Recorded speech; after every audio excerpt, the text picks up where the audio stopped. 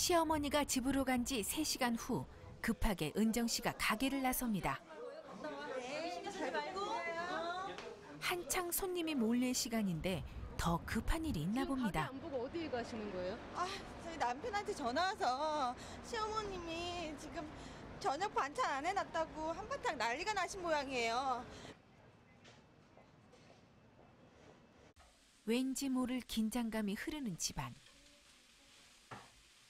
은정 씨가 빠른 솜씨로 몇 가지 반찬을 만듭니다. 시어머니를 설득할 때까지 책 잡힐 행동을 하면 안 된다는 것이 그녀의 생각. 그런데 아이고 머리야. 아이고 나 죽네. 여보, 나 여보. 여보 일로 와봐 일로 와봐 엄마 시어머니의 주 특기가 또 나왔습니다. 언제나처럼 약을 가지고 달려가는 은정 씨. 그런데 며느리의 손을 냉정하게 뿌리치는데요. 식당에서 실패한 며느리 잡기를 이번에는 확실히 할 모양입니다. 다시 갖고 가자 엄마 엄마 일어나봐 아이고 아이고. 아이고 나 죽네. 아이고 나. 뭐 사태가 점점 심각해집니다. 유나야, 괜찮으니까 TV 다시 봐. 극단으로 치닫는 시어머니.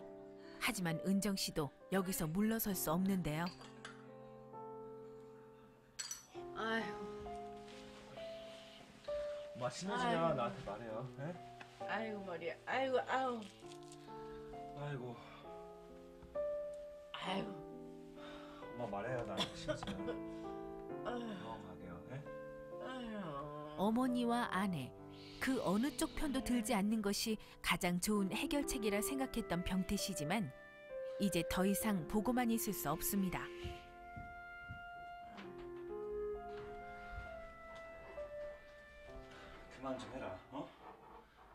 자기가 져줘야지 아버지도 안 계신데 엄마 불쌍하지도 않아?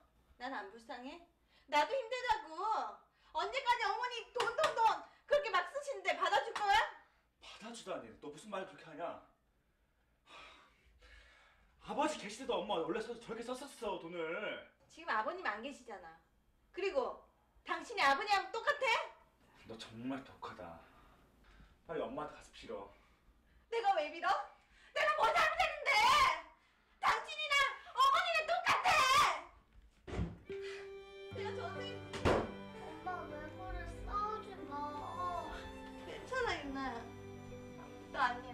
남편마저 자신의 마음을 몰라주는 것에 은정 씨의 속은 터질 것 같습니다.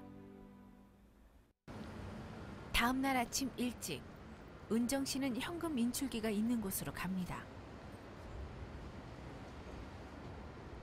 어제 사건으로 그녀의 마음이 변한 걸까요? 결국 시어머니가 달라던 돈을 인출하는데요. 돈 찾으시는 거예요? 네 솔직히 아, 하루에도 12번씩 마음이 왔다 갔다 해요. 시어머니한테 돈을 또 드리자니. 아 끝이 없을 것 같고. 또 안 드리자니 제가 마음이 안 편해요. 그래도 일단은 찾으려고요. 딱히 드리겠다는 것은 아니지만 그래도 만약을 대비해 찾아놓으려는 겁니다. 늦은 밤. 은정 씨가 혼자서 식당 일을 하고 있습니다. 오늘 남편이 식당에 나오지 않았는데요. 평상시 자주 자리를 비우지만 그래도 밤 시간엔 여자 혼자 위험하다고 식당을 지켰던 병태 씨. 고부 갈등이 이젠 부부 갈등으로까지 번지는 걸까요? 결국 문 닫는 시간까지 남편은 오지 않았습니다. 해도 해도 너무한다는 생각에 화가 난 은정 씨. 하지만 시간이 갈수록 행여 무슨 일이 생긴 건 아닌지 걱정이 되는데요. 그때 남편이 아니 나타났습니다. 당신 어디 갔다 이제 오는 거야 나 혼자 얼마나 바빴는지 알아? 여보 나 애교 좀 하자 심각한 표정의 병태 씨. 보증 샀는데 연락이 안 돼 지금 아 진짜 믿을 놈이었다니까 걔 당신 친구 좋아하다가 꼴도 좋다 아내에게 털어놓긴 했지만 병태 씨는 친구의 배신이 도무지 믿기지 않습니다. 아니 남편이. 아 보증 서 가지고 8천만 원